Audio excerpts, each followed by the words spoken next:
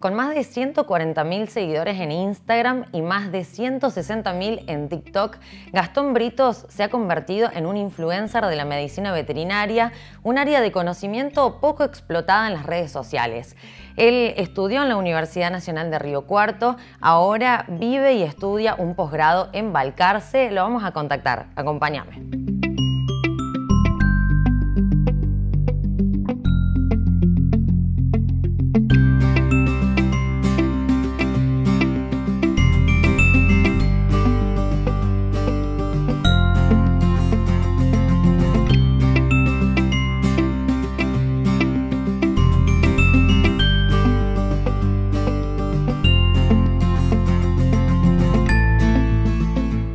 Hola Gastón, ¿cómo estás? Gracias por atenderme.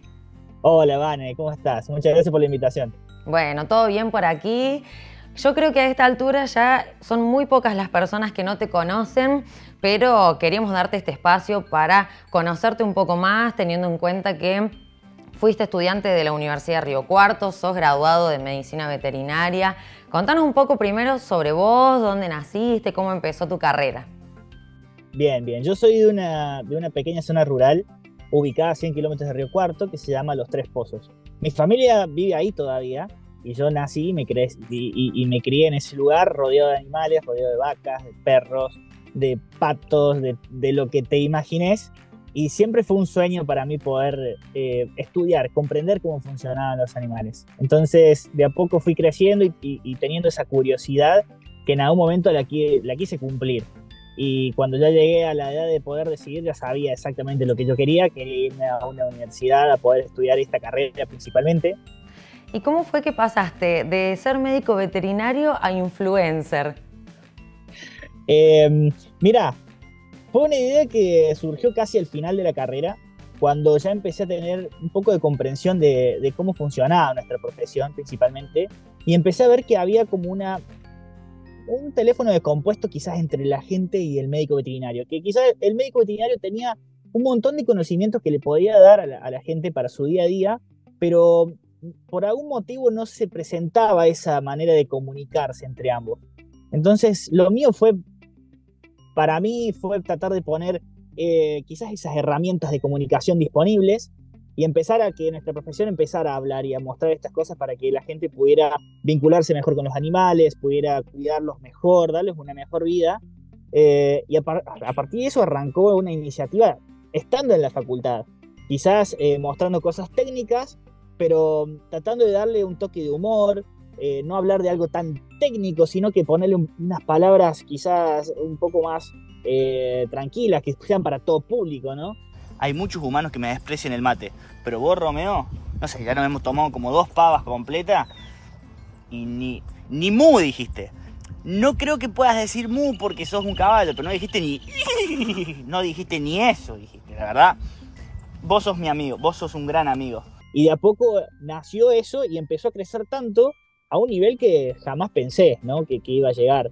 Ya que gente de toda Latinoamérica eh, me había empezado a seguir, yo estando en la facultad, a mí me, generaba como una curiosidad muy grande hasta qué punto podíamos llegar nosotros como profesión a, llevarle este tipo de información a la gente, ¿no? ¿Cuánto te ayudó lo que aprendiste en la universidad y un poco lo que aprendiste a partir de la experiencia? Eh, mirá, la universidad a mí me dio todo, literalmente. Yo siempre estoy completamente agradecido por eso, porque más allá de que me dio la capacidad de estudiar esta carrera y la parte técnica, me acogió por muchos años, me dio, me dio, quizás fue, fue mi segundo hogar, yo vivía en el barrio universitario, así que yo literalmente vivía en la, en la, en universidad, metido en la biblioteca o metido en los pasillos, eh, fue mi estilo de vida por muchos años. Y, y, me enseñó prácticamente todo lo que sé eh, sobre animales. No solamente en las clases, sino que el contacto con mis compañeros, el contacto con, con los docentes que están, están cercanos, me llevó a tener esa, esa curiosidad. Y en un primer momento, prácticamente todo lo que yo estaba subiendo en las redes era lo que aprendía día a día en la facultad y sabía que esa herramienta de ser eh, médico veterinario me iba a ayudar a que la gente lo tomara en serio, ¿no? Que no, no sea una persona random hablando de animales, sino que sea un médico veterinario capacitado quien te está dando esa información. Qué bueno lo que decís, está bueno para un poco mm, darle importancia a la formación, ¿no? Y no solamente que sea de experiencia, de buena onda o de animarse. Y contame, ¿qué cualidades crees que hay que desarrollar, digamos, como joven para convertirte en un influencer? Yo creo que en un principio es curiosidad. Al principio es curiosidad y querer hacer algo diferente. En mi caso fue eso, fue romper un poco el molde de lo que era nuestra profesión. Nuestra profesión siempre ha tenido esa, esa manera más, eh, quizá de pasar de información más a papel, más en clases unidireccionales. Y yo veía que quizás en otras profesiones ya había un cambio, ya se estaba notando que las redes sociales eh, la usaban como unas herramientas, pero en nuestra profesión no.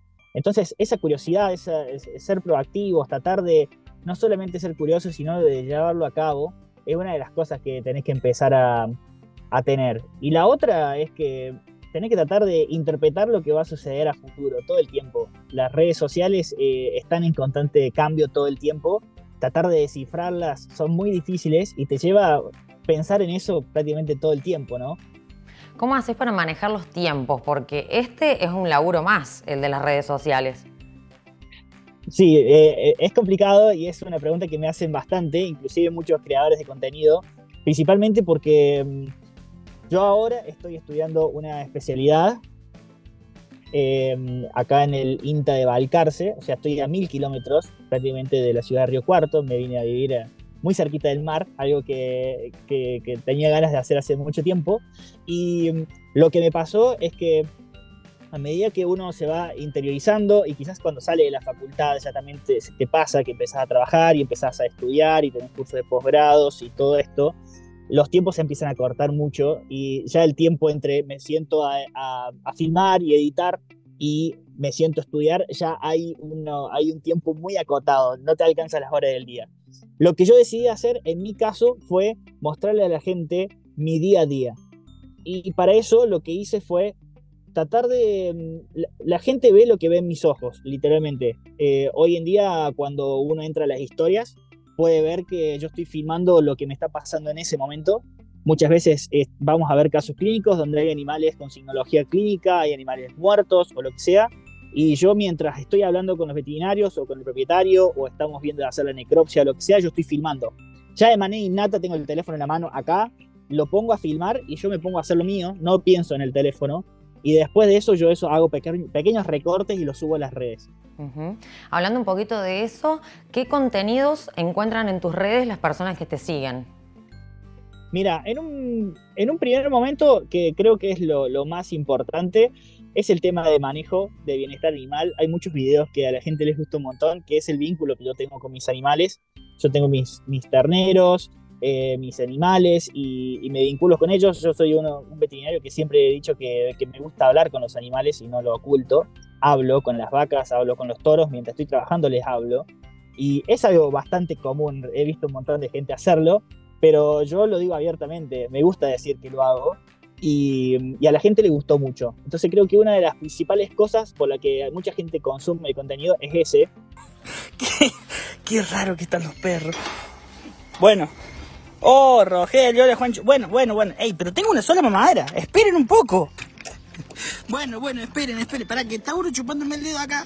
Bueno, ahí, un poquito Pero también eh, hay un contenido más técnico en donde intento explicarle a la gente los, las diferentes enfermedades que pueden ver en los animales y sobre todo qué signología tienen, ¿no? ¿Qué cara hace una vaca cuando se siente mal? Y cuando, se, y cuando se los digo, no solamente se los digo, sino que se lo muestro en el momento que lo estoy viendo yo. Entonces, ese es el contenido que hoy les estoy tratando de mostrar, la realidad, ¿no? ¿Valorabas la posibilidad que te dan las redes económicamente también para desarrollarte en otros ámbitos de tu vida, pero a su vez también participás en causas sociales, tratás de colaborar con estas herramientas o no? Exacto, exacto. Yo creo que esto me pasó ya de hace un tiempo cuando mm, la misma gente te lo va pidiendo, ¿no? Eh, de, visualizar ciertas partes de la, de la vida cotidiana de mucha gente que trabaja con animales eh, empezar a visualizarlo, aprovechar esa, por ahí ese alcance que tengo a través de las redes y empezamos a poner diferentes situaciones, como por ejemplo gente que, trabaja de voluntariados en, protectoras para perros o en protectora para equinos, ¿no? Y a partir de eso nacieron ideas de poder ayudar. La gente es muy solidaria y siempre quiere poder aportar.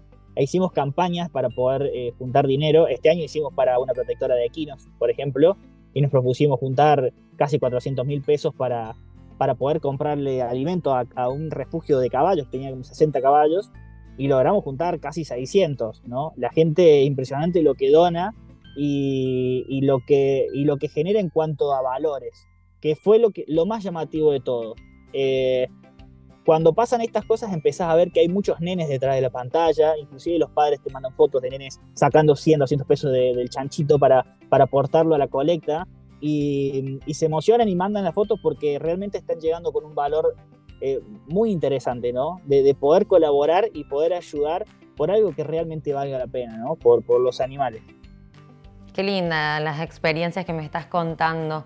Eh, contanos, ¿qué consejo le darías a un joven como vos que está viendo estas posibilidades que nos, que nos brindan las nuevas tecnologías y que dicen, bueno, quiero vincularlas con mi carrera, quiero potenciar mis redes, quiero aprovechar esto también para desarrollarme como profesional? Yo creo que el, principal consejo es no desmoralizarse en un principio, porque esto tiene que en un inicio tiene es un inicio muy lento muchas veces y, muchas veces frustrante, porque lleva mucho trabajo a veces y trabajo que no, no lo ves reflejado a veces en la, en la parte de la interacción y todo eso. Nosotros muchas veces tenemos pensado eso, que hacemos un video súper largo, súper eh, con muchísimas horas de edición y todo eso, después lo subimos a las redes y no tiene el impacto que nosotros creemos y nos venimos abajo. Y es una de las primeras cosas que tenés que empezar a superar en un principio. Empezar a analizar qué es lo que quiere tu, tu, público y a, partir de eso generar tu contenido, que puede ser súper trabajo, un trabajo de locos o puede ser una edición básica que le hiciste que le pegaras en el clavo, exactamente en el clavo, y lograras tener la difusión que vos querías. Pero lograr eso, que es un trabajo principalmente mental, más allá de, lo que vos tenés que saber de la parte técnica, hay un trabajo, mucho trabajo de pensamiento tuyo detrás. Eh, es algo que vos te lo podés llevar en, la valija, siempre digo. Para mí las redes, más allá de todo, es mi currículum andante, es, es mi marca personal también. Y me ha pasado eso. Yo eh, salí de la Universidad de Río Cuarto, estaba metido tiempo en la universidad y me pasó que vine a la Universidad de Valcarce, que está a mil kilómetros, y la gente me conocía acá.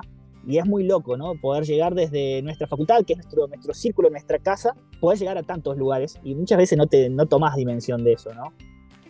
Bueno, Gastón, muchísimas gracias por este contacto. La verdad que fue un gustazo conocerte. Sos una persona muy cálida, es muy lindo escucharte. Yo creo que por eso tenés tantos seguidores y te mereces realmente que tu comunidad siga creciendo y que se sigan cumpliendo todos estos sueños. No, bueno, muchísimas gracias, Vane, a vos por la, por la invitación. Y nada, siempre esperamos que la, que la comunidad sea cada vez más grande en búsqueda de poder realmente hacer un, un cambio, un cambio pequeñito en el mundo que es lo que buscamos hacer prácticamente todos nosotros todo el tiempo, ¿no? Historias de animales mezclando conocimiento y una cuota de humor. Gastón Britos ya es un profesional destacado. ¿Vos también te sumás como su seguidor?